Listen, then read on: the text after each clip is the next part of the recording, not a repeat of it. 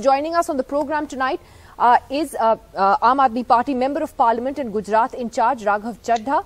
Uh, Raghav Chadha, thanks very much for joining us. How was the day?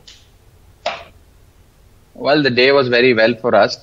Uh, it has been, uh, we have a, we've, we've had lot of excitement and huge numbers flocking to our polling station and booths and tables that we had set outside uh, the polling centers. Number two, the uh, AAP actually put up more polling tables and booths than the BJP. And number three, our assessment, uh, Nidhi, is that the traditional BJP voter who usually steps out in huge numbers to vote for the BJP, this time, due to disenchantment and absence of hope in BJP's campaign, did not turn out in huge numbers. The maximum vote, the maximum people who stepped out to vote were essentially a vote for change, a vote for parivartan. And one thing that I, as as somebody who's been campaigning for the party in the state, have noticed, and all my party colleagues, including our leader, Mr. Kejriwal, have noticed across, not just in Saurashtra and South Gujarat, which are considered to be strongholds of AAP, but even in North and Central Gujarat, is a palpable desire, a sense for parivartan and change. Sure. But Raghav, that people change, are yearning for change. That change, as far as the Aam Aadmi Party is concerned, would mean the Congress doing disastrously, and the projection, of course, is that you do much better than them. That being the What- case, what- are you counting on taking away a large chunk of the base of the Congress in the state?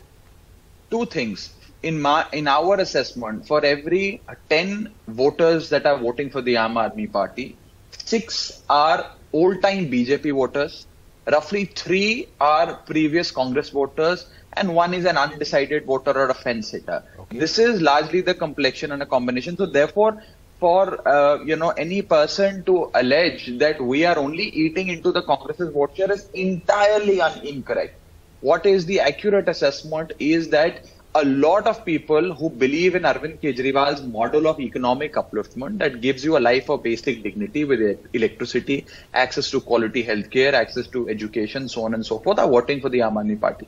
As far as your larger question on the performance of Congress is concerned, let me tell you that the Congress, quite frankly, has essentially withdrawn from the Gujarat election, barring four, five seats where Congress is in a contest merely because they have a strong leader that has been practicing electoral politics, has been doing grassroots politics for decades.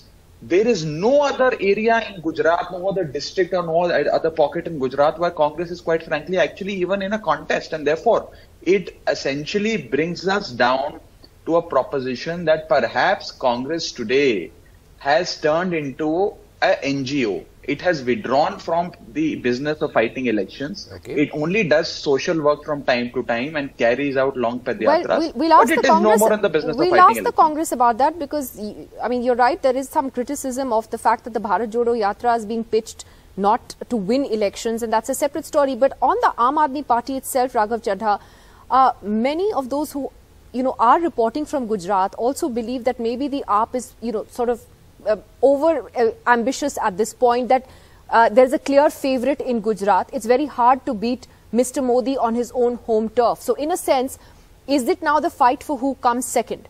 Would you agree with that? Is To- that is just a fight for the ru- runners-up position? 2002 election in Gujarat, 2007 election, 2012 and 2017 election. These elections may have been fought on the Modi factor, but the 2022 Gujarat election is being fought on the Kejriwal factor. And take it from me that AAP is going to trump the BJP in the upcoming polls. In these polls, the ones, the phase one as well as the phase two. Number two, there is, as I've said, if it was so convenient for the BJP and if it is the BJP's home turf and BJP is all set to win and they're, uh, you know, absolutely not perturbed with what the AAP is, uh, the kind of ground that AAP is gaining in the state of Gujarat, why would the Prime Minister require to sweat it out for five to six hours and carry out a long 50 Because he does does- that, kilometer he yeah, road in in every every election. state. He does that Well- in every state. Well, he That's- campaigns in every He is the face of the Well- BJP. But No, no, Raghav, of let me ask you this. face. If that's, you just look that's at, not, he doesn't do he doesn't carry out 50 kilometer long road shows. He, he did on- a massive on- on road show, I remember, on the eve of the last UP election as well. In 2017, also, I remember there were three days of massive road shows by the Prime Minister there, and everyone Well, thought, oh, that must be because massive the BJP is on the back foot. Actually, they did phenomenally well. and they, they're calling this the largest, Raghav. They're saying that three and a half hours, it's still going on, apparently. They pitched it as being the largest. I mean, that that's an Well- election ploy.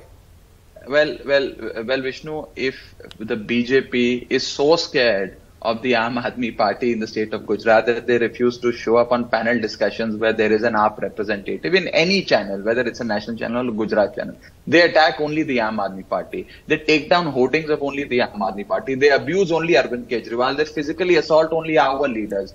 They have quite frankly uh, got into an understanding with the Congress, but they attack only the AAP because they see AAP not just as a long-term threat, but also as a potential short-term immediate threat in the state of Gujarat. And I say this because in a very small span of eight months, I mean, if you were to rewind back to March, that is when we started our campaign in Gujarat. In a short span of eight months, we have built a huge momentum. We have put up a spirited campaign. We have built a robust organization down to every village, which can today compete and perhaps Right. trump the BJP's But- own organization. But but Raghav, last question, just on that point about your campaign. Yes, it's been very robust, and and uh, I mean, at, at least it's there. The Congress's campaign is not even there on the ground.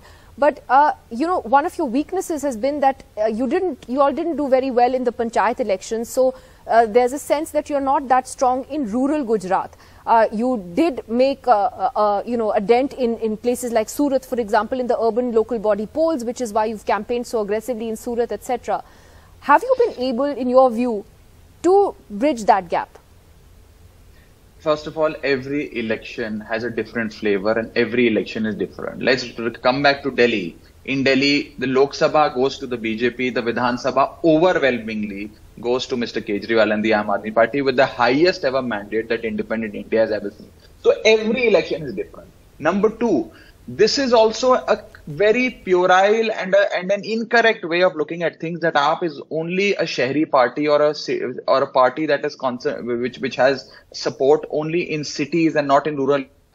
Take it from me that this time AAP's performance in tribal areas, AAP's performance in hardcore rural areas is going to be far better than AAP's own performance in cities. I'm not saying cities is going to be No, bad so in any bottom which line, way, Raghav, I but need to wrap this up. Relatively. Yeah. Are you going to win this? Be honest, or are you going to be a strong second? He's going to say they'll win. Aam Aadmi Party is winning this election. Are you sure? And I'm saying this.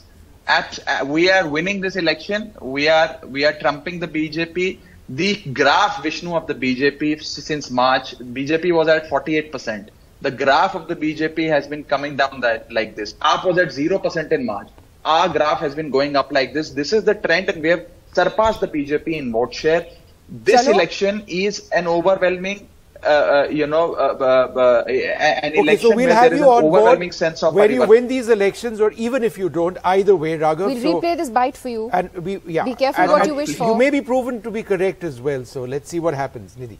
All right. This Raghav. election, Vishnu, I can tell you, is going to change India's political landscape for sure. And Aam Aadmi Party, in my view, in our surveys, and that's the sense that I've got on the ground, not just as somebody who's the co-in-charge of the party in the state, but as a student of political science, Sure. we Sure. are winning this hands down. All right. Just well, recorded that. We've recorded all of that. Keep it Thanks, Please record it. Thanks very much.